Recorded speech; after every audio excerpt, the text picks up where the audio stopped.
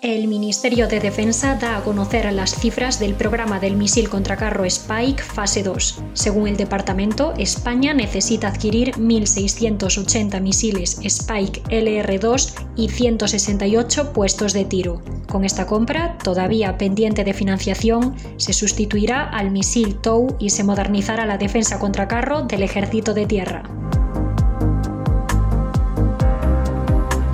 El misil Spike LR2, con un alcance extendido de hasta 5 kilómetros y medio, se encuentra en servicio actualmente en la Fuerza Terrestre Española y en la Infantería de Marina. Se trata de un sistema de misiles de guiado electroóptico ligero, portátil, multiplataforma y multipropósito de quinta generación. Puede ser empleado por infantería, vehículos blindados, buques de guerra y helicópteros de ataque. El misil puede ser operado en dos configuraciones de gran letalidad.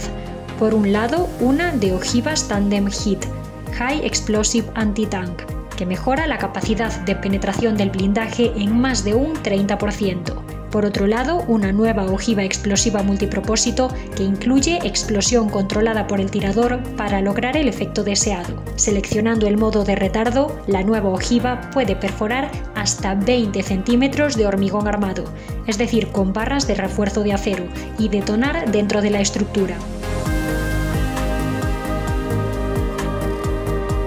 Respecto al plan industrial, la idea es adquirir el misil LR2 en el mercado nacional.